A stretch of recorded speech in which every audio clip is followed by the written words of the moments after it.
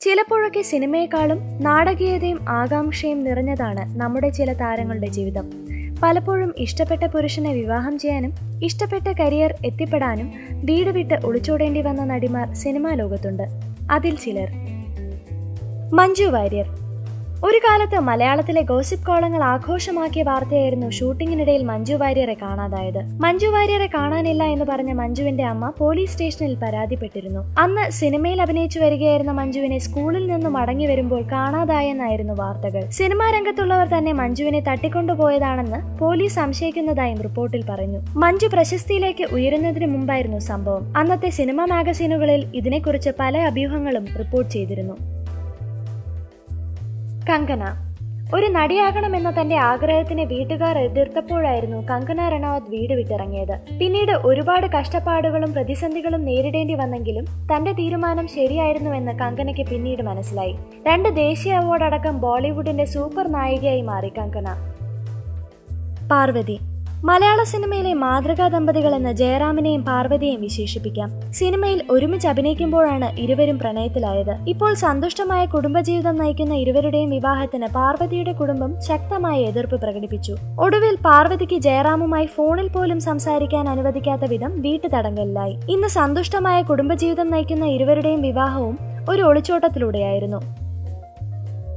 Reena Dutta Bollywood super താരം അമീർ ഖാന്റെയും ഒരു ഒളിച്ചോട്ട വിവാഹമായിരുന്നു. തനിക്ക് ഇരുപത്തൊന്ന് വയസ്സുള്ളപ്പോഴായിരുന്നു നടിയും അയൽപക്കക്കാരിയുമായ റീനയെ അമീർ പ്രപ്പോസ് ചെയ്തത്. എന്നാൽ രണ്ടുപേരും രണ്ട് മതസ്ഥരായതുകൊണ്ട് കുടുംബത്തിന്റെ ശക്തമായ എതിർപ്പ് നേരിടേണ്ടി വന്നു. പിന്നീട് ആയിരത്തി തൊള്ളായിരത്തി എൺപത്തി ആറിൽ ഇവർ ഒളിച്ചോടുകയും വിവാഹിതരാവുകയും ചെയ്തു. എന്നാൽ രണ്ടായിരത്തി രണ്ടിൽ ഇരുവരും വിവാഹമോചിതരായി. തുടർന്ന് രണ്ടായിരത്തി അഞ്ചിൽ അമീർ ഖാൻ വീണ്ടും വിവാഹിതനായി.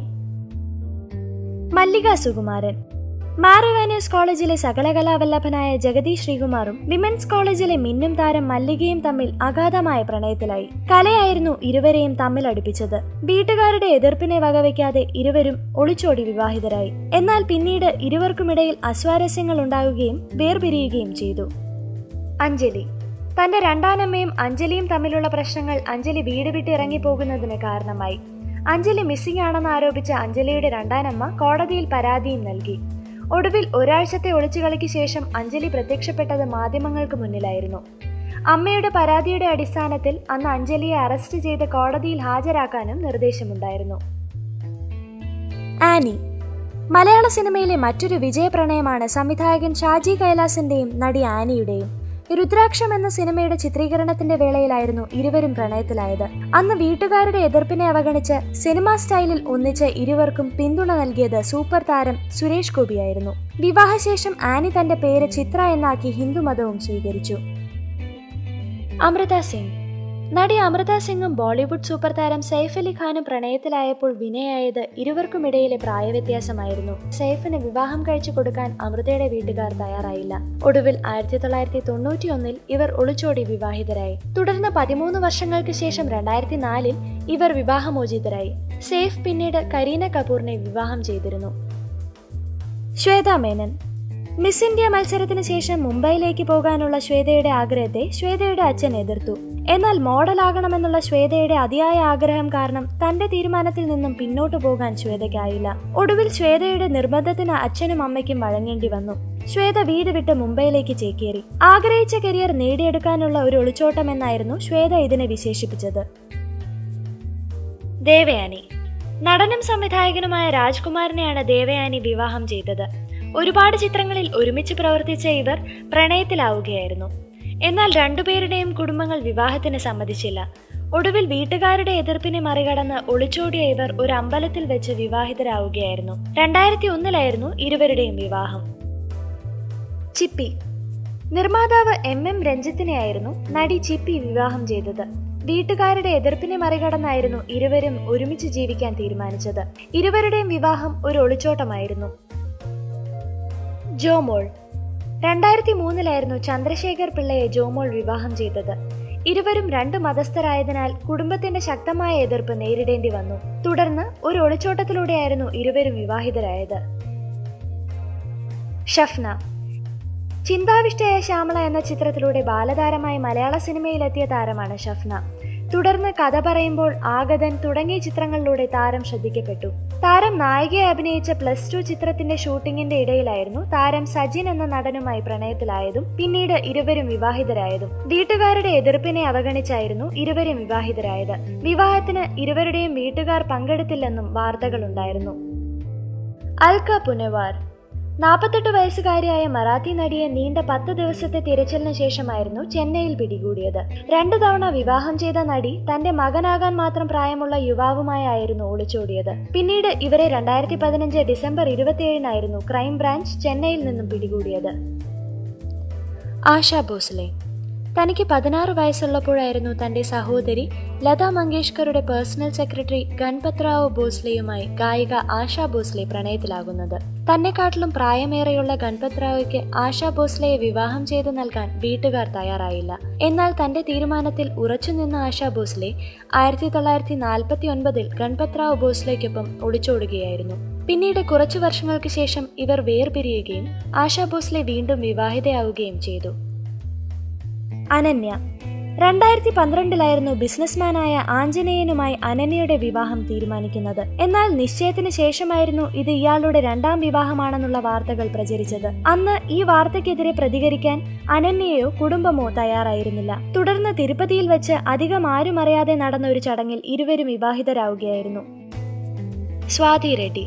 തെലുങ്ക് യുവനടി സ്വാതി റെഡ്ഡിയെ തന്റെ അമ്മ പോലീസ് സ്റ്റേഷനിൽ വെച്ച് തല്ലിയെന്ന വാർത്തകളിൽ നിറഞ്ഞിരുന്നു. തന്റെ മകളെ ശ്രീനിവാസ് എന്നയാൾ തട്ടിക്കൊണ്ടുപോയി എന്ന അമ്മയുടെ പരാതിയുടെ അടിസ്ഥാനത്തിലായിരുന്നു പോലീസ് കേസ് അന്വേഷണം ആരംഭിച്ചത്. എന്നാൽ പിന്നീട് സ്വാതി തന്നെ നേരിട്ട് സ്റ്റേഷനിൽ ഹാജരാവുകയും തന്നെ ആരും തട്ടിക്കൊണ്ടുപോയതല്ല താൻ സ്വന്തം ഇഷ്ടപ്രകാരമാണ് ശ്രീനിവാസിനൊപ്പം ഇറങ്ങിപ്പോയതെന്നും പറഞ്ഞു. പിന്നീടാണ് അമ്മയും മകളും പോലീസ് സ്റ്റേഷനിൽ മാധ്യമങ്ങളുടെ മുന്നിൽ വെച്ച് ഏറ്റുമുട്ടിയത്. മഞ്ജു വാര്യർ ഒരു കാലത്ത് മലയാളത്തിലെ ഗോസിപ്പ് കോളങ്ങൾ ആഘോഷമാക്കിയ വാർത്തയായിരുന്നു ഷൂട്ടിങ്ങിനിടയിൽ മഞ്ജു വാര്യരെ കാണാതായത്. മഞ്ജു വാര്യരെ കാണാനില്ല എന്ന് പറഞ്ഞ മഞ്ജുവിന്റെ അമ്മ പോലീസ് സ്റ്റേഷനിൽ പരാതിപ്പെട്ടിരുന്നു. അന്ന് സിനിമയിൽ അഭിനയിച്ചു വരികയായിരുന്ന മഞ്ജുവിനെ സ്കൂളിൽ നിന്നും മടങ്ങി വരുമ്പോൾ കാണാതായെന്നായിരുന്നു വാർത്തകൾ. സിനിമാ രംഗത്തുള്ളവർ തന്നെ മഞ്ജുവിനെ തട്ടിക്കൊണ്ടുപോയതാണെന്ന് പോലീസ് സംശയിക്കുന്നതായും റിപ്പോർട്ടിൽ പറഞ്ഞു മഞ്ജു പ്രശസ്തിയിലേക്ക് ഉയരുന്നതിന് മുമ്പായിരുന്നു സംഭവം. അന്നത്തെ സിനിമാ മാഗസീനുകളിൽ ഇതിനെക്കുറിച്ച് പല അഭ്യൂഹങ്ങളും റിപ്പോർട്ട് ചെയ്തിരുന്നു. കങ്കന ഒരു നടിയാകണമെന്ന തന്റെ ആഗ്രഹത്തിനെ വീട്ടുകാർ എതിർത്തപ്പോഴായിരുന്നു കങ്കന റണാവത്ത് വീട് വിട്ടിറങ്ങിയത്. പിന്നീട് ഒരുപാട് കഷ്ടപ്പാടുകളും പ്രതിസന്ധികളും നേരിടേണ്ടി വന്നെങ്കിലും തന്റെ തീരുമാനം ശരിയായിരുന്നുവെന്ന് കങ്കനയ്ക്ക് പിന്നീട് മനസ്സിലായി. രണ്ട് ദേശീയ അവാർഡ് അടക്കം ബോളിവുഡിന്റെ സൂപ്പർ നായികയായി മാറി കങ്കന പാർവതി.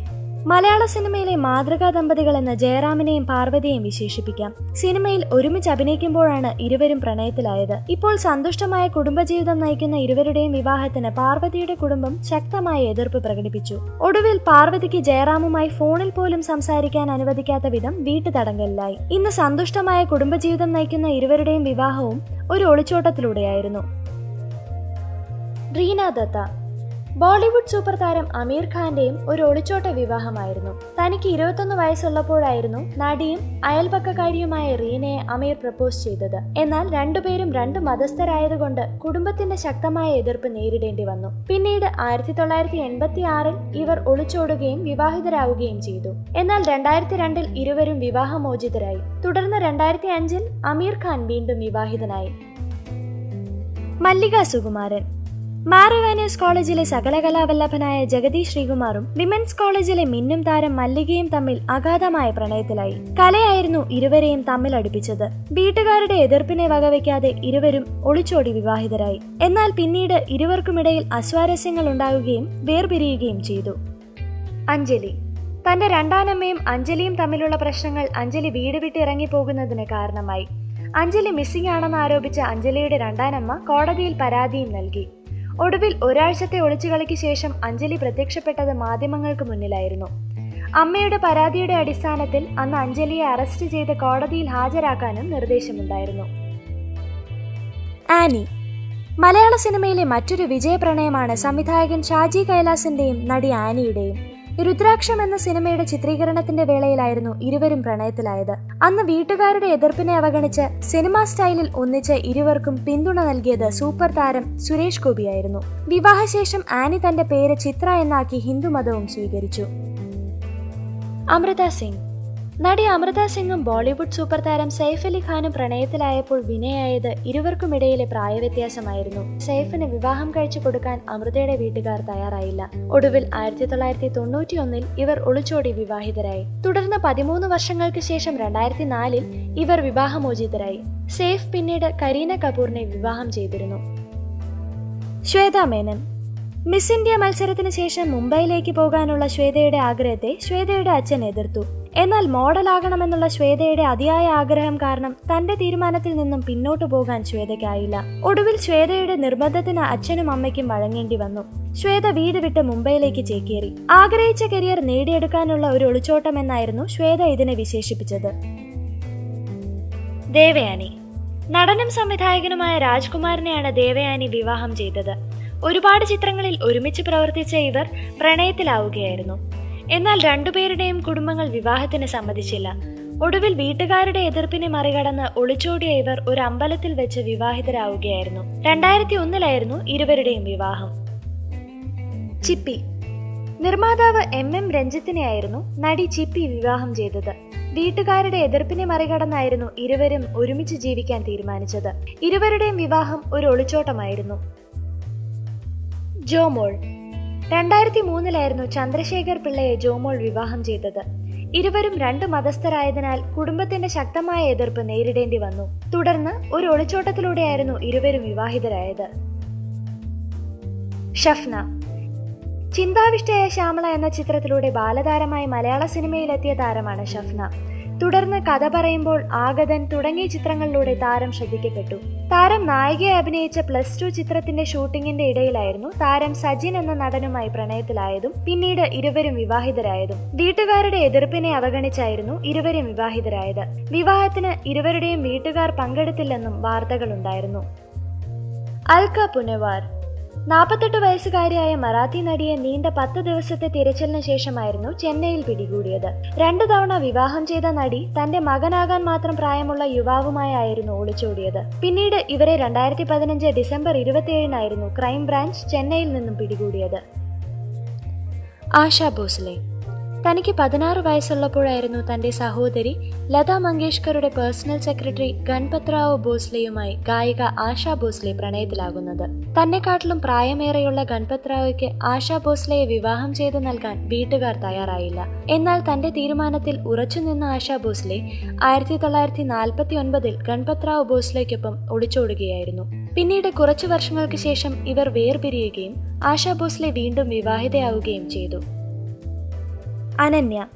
രണ്ടായിരത്തി പന്ത്രണ്ടിലായിരുന്നു ബിസിനസ്മാനായ ആഞ്ജനേയനുമായി അനന്യയുടെ വിവാഹം തീരുമാനിക്കുന്നത്. എന്നാൽ നിശ്ചയത്തിന് ശേഷമായിരുന്നു ഇത് ഇയാളുടെ രണ്ടാം വിവാഹമാണെന്നുള്ള വാർത്തകൾ പ്രചരിച്ചത്. അന്ന് ഈ വാർത്തയ്ക്കെതിരെ പ്രതികരിക്കാൻ അനന്യയോ കുടുംബമോ തയ്യാറായിരുന്നില്ല. തുടർന്ന് തിരുപ്പതിയിൽ വെച്ച് അധികം ആരും അറിയാതെ നടന്ന ഒരു ചടങ്ങിൽ ഇരുവരും വിവാഹിതരാവുകയായിരുന്നു.